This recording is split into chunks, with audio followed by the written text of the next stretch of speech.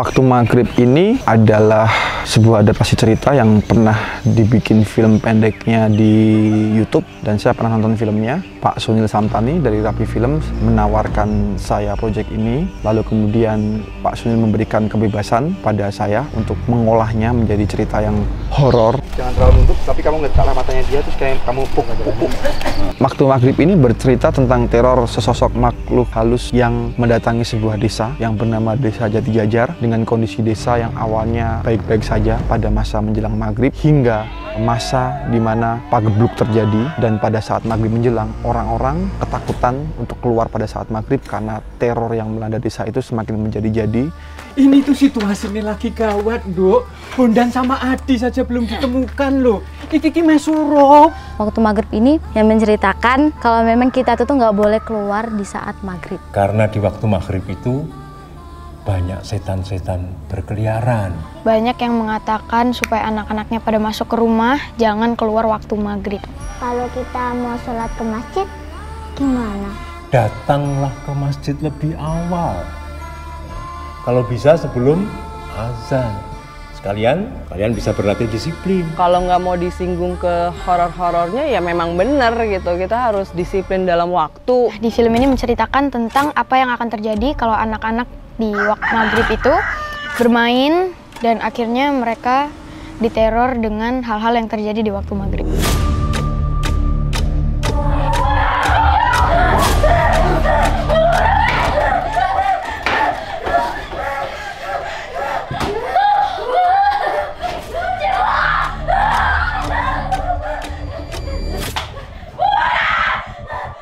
Menarik dari cerita waktu maghrib ini perspektif kita akan masuk ke dalam uh, anak-anak kecil. Jadi anak-anak kecil dalam cerita ini akan membawa kisah-kisah horor yang kemudian diletakkan lewat perspektif anak-anak kecil. Ini yang jadi menarik gitu. Sejauh ini cukup jarang cerita-cerita horor yang dipersepsikan lewat perspektif anak kecil gitu. Nah saya mencoba untuk mengangkat cerita ini dari sudut pandang anak-anak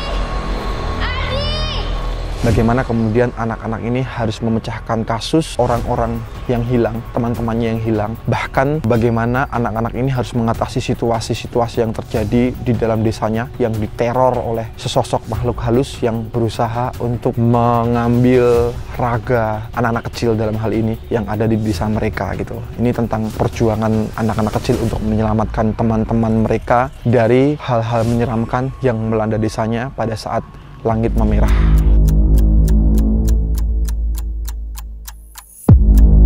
Proses praproduksi waktu maghrib ini tidak terlalu lama tapi tidak terlalu pendek juga gitu. Jadi kalau bicara membaca naskahnya seperti apa sebenarnya saya ikut mendevelop juga ceritanya bersama Mas Aga, Mas Ogi. Kami mendevelop cerita ini satu bulan atau dua bulanan gitu. Kemudian kami saling melempar ide dan akhirnya naskah ini menjadi solid sih gitu. Nah itu menjadi tantangan yang besar bagi saya karena memang ini pertama kalinya bagi saya gitu dan memang medium layar lebar itu selalu menjadi medium yang sangat penting bagi semua tim yang terlibat dalam proyek ini gitu. ini eh, hari pertama syuting kita ini berjalan dengan lancar sampai dengan hari terakhir tidak ada halangan apa pun.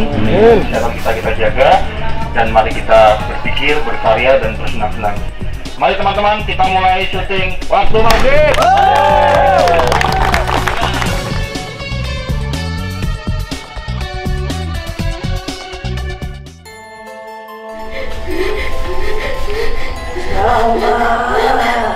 Wah horor yang berbeda gitu. Aku bacanya kalau menurut aku kayak sangat menarik sekali. Tapi kamu jadi galak banget neng.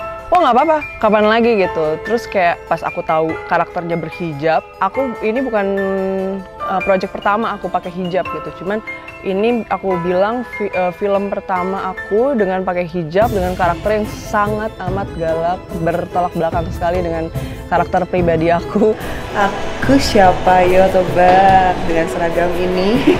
aku sekarang lagi jadi hantunya Guoro, tapi aku nggak mau ngaca.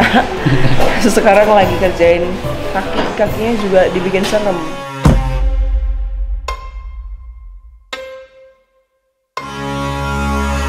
Misalnya Saman, dia itu pemulai masalah gitu. Awal semua orang bisa tahu tuh gara-gara kesurupan juga, terus dia juga tiba-tiba bunuh itu, bunuh Samil, terus dia dikejar-kejar warga juga. Akhirnya mereka ngejar baru yang lain kayak pembuka gitu loh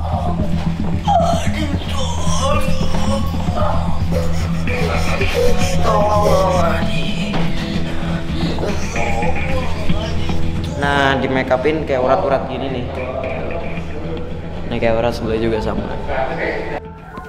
Mati luwe becek kanggo kowe. Waktu awal dikasih tahu tentang karakternya Bu Ningsih itu sangat bisa dibilang mengerikan, bisa dibilang sangat menantang karena dia itu punya dua sifat yang sangat berbeda. Kayak misalkan dia itu harus terlihat anggun, baik, berpendidikan di depan palurah, di depan warga-warga yang ada di uh, Jati Jajar gitu. Tapi sedangkan dia punya misteri di balik keanggunan dan kepintarannya dia itu. Bu Ningsih itu karakter di mana dia tuh benar-benar plot twist gitu. Bu Ningsih awalnya dia jadi guru baik, tiba-tiba di akhir dia mulai nunjukin hal-hal yang curigain. Dari yang awal dia datang, Ayu ngelihat tangannya Bu Ningsih itu udah luka dan itu Ayu udah mulai curiga dengan Bu Ningsih. Ayu itu kan juga salah satu karakter yang kayak anak paling pintar di sekolah, kesukaan idolanya para guru gitu. Ada satu momen di mana waktu itu Bu Ningsih reading sama Ayu, itu katanya sih Ayu ngeri beneran sama Ningsih gitu. Jadi kayak ini kan baru reading ya, gimana nanti di set. Bu Ningsih cukup membuat kita kaget. Kita nggak tahu kalau memang di akhirnya itu Bu Ningsih adalah salah satu uh, jin yang berbahaya di film ini. Mau mengusirku dengan jari buntung? Tidak bisa. Temanmu sudah usai. Tiba-tiba Karta tuh kayak memberikan sesuatu clue ke Ayu yang mungkin harus dia hati-hati sama Ningsih. Kek, kek no mati ke guru barumu. Andri ngebikin sosok Karta itu tuh bener-bener beda banget dari dirinya sendiri. Tantangannya banyak gitu, tantangan untuk karakter Karta ini. Langsung mulai riset, kemudian cari-cari seperti apa sih Karta gitu ya. Orang yang selama ini dikucilkan, orang yang selama ini sering dipandang sebelah mata sama warganya yang selalu dianggap pembawa sial, pembawa hal-hal yang nggak baik gitu ya. Seperti apa sih kira-kira orang yang tinggal di lingkungannya seperti itu gitu. Iki kowe sing masang. Koro-koro kowe anakku keserupan. Eh?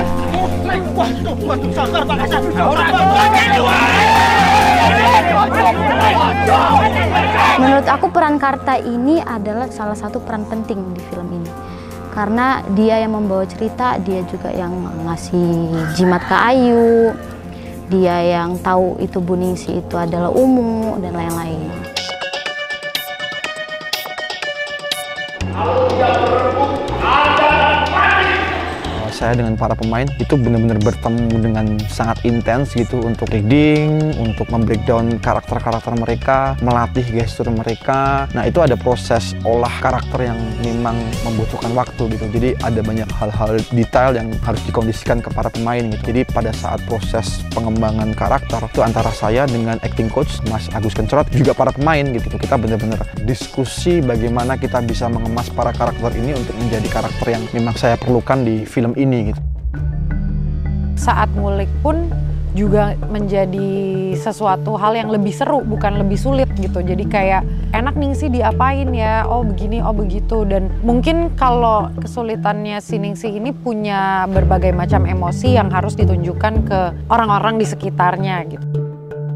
Waktu itu make upnya belum gini rambutku masih pendek kumisnya juga belum ada. Jadi kayak aku nyoba suara aku nyoba suaraku yang segini terus kayak aku cempreng aku aku berat aku serak aku coba semua itu akhirnya dapet yang nanti akan kita tonton itu suara karta menurutku yang paling pas adalah itu gitu.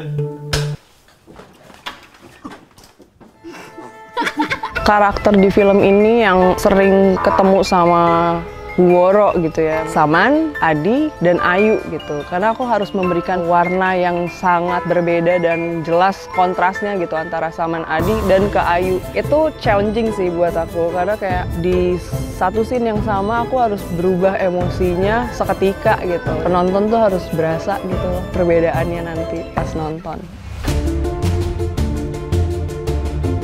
Tantangan yang pertama adalah uh, scene kesurupan. Sebenarnya kalau kita kesurupan dibuat-buat kan juga jelek.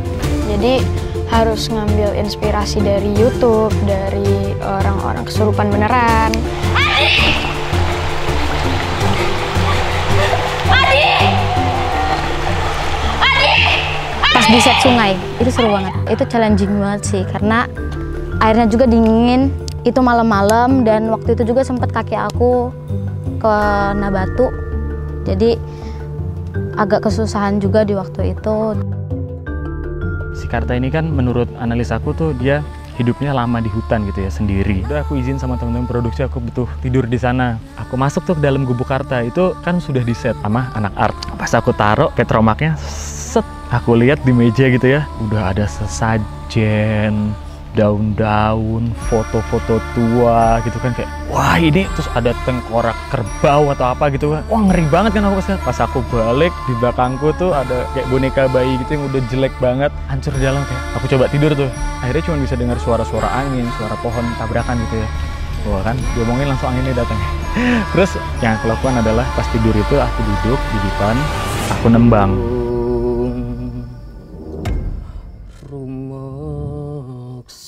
Rasa tuh kayaknya nembangnya bakalan dipakai nantinya gitu ya. Tapi emang itu nggak ada di skrip, cuman itu emang hasil riset yang aku pakai. Aku nembang, nembang. Nggak tahu kenapa tiba-tiba semakin lama aku makin nembang, vibe sama hawanya tuh kayak makin serem kan. Terus ya udahlah aku terima aja gitu. Terus ya ternyata tapi aman-aman aja, nggak ada apa-apa.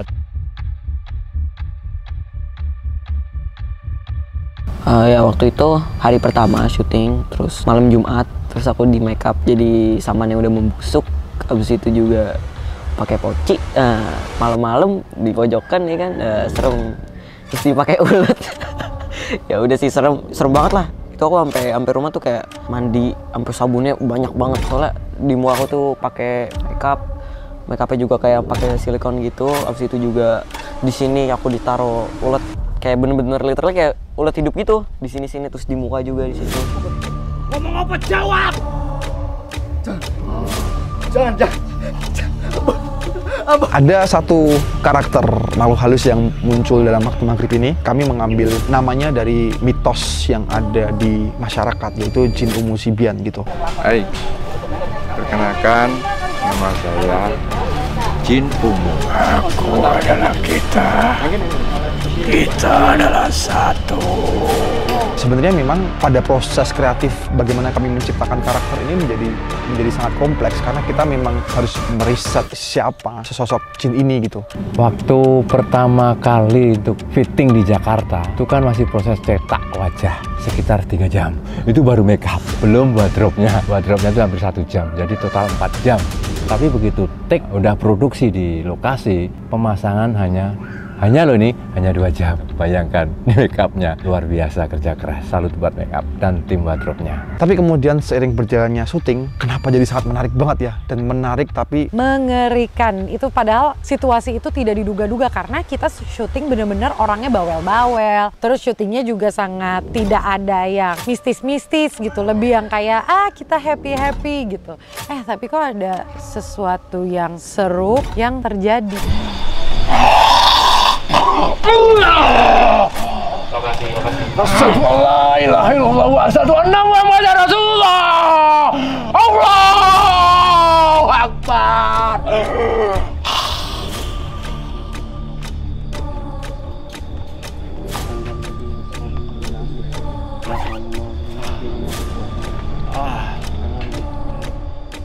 Aku udah kerasa Pak Heru jenengan ini wes aneh waktu itu. Wes ora kok biasa aneh. energi yang muncul dalam karakter itu tuh membuat kami jadi sangat percaya bahwa karakter ini hidup dan ada dan membuat kami ketakutan ketika syuting. Jadi kami sangat-sangat takut ketika membuat adegan bersama Jin Ungu Sibian. Ya aku bilang, "Woro." Bukan saya itu mah Bener, serius. Aku nggak bisa gitu.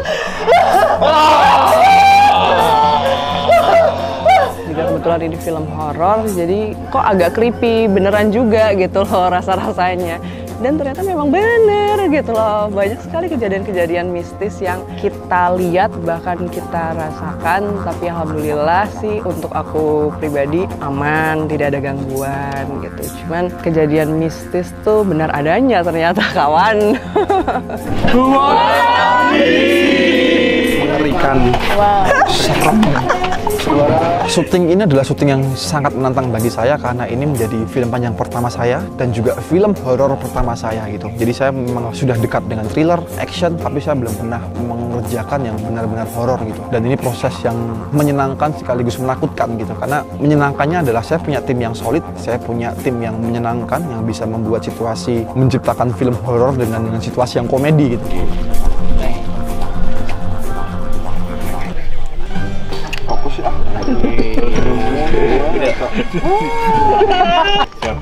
Oke, sampai ketemu lagi project. Sekali lagi. Eh, belentong-belentong gitu. Katanya kali-kali belentong gitu. Pak, totonya satu, Pak. Makasih ya. Jadi kalau bicara soal cerita horor, sepanjang produksi ini banyak sekali cerita horor dan kami menyikapinya dengan senang dan takut. Saya mengucapkan terima kasih banyak atas eh, partisipasi kalian, bantuan kalian sehingga proses film panjang pertama saya horor ini nih bisa terselesaikan dengan menyenangkan, dengan bahagia. Dari hari pertama sampai hari sekarang itu memang banyak hal yang sangat berat yang yang kita alami di proses ini. Tapi ternyata eh, teman-teman mampu eh, memberikan energi-energi yang benar-benar maksimal, energi-energi kebahagiaan sehingga seseram apa pun adegan yang kita bikin termasuk hari ini ini kita masih bisa menyikapi dengan tertawa, bahagia, seneng, kerja bareng sama teman-teman itu benar-benar sangat menyenangkan gitu. Harapnya waktu maghrib ini akan membawa kita ke level lain yang akan lebih baik dari sekarang. Jadi, terima kasih atas kerja bakti kalian, terima kasih atas kerja ikhlas kalian, terima kasih atas dedikasi kalian. Ini eh, dengan ini saya nyatakan waktu maghrib is a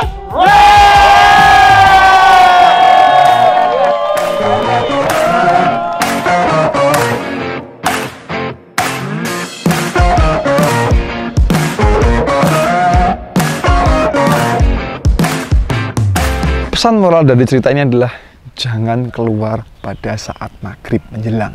Lebih baik di rumah atau sholat di masjid. Waktu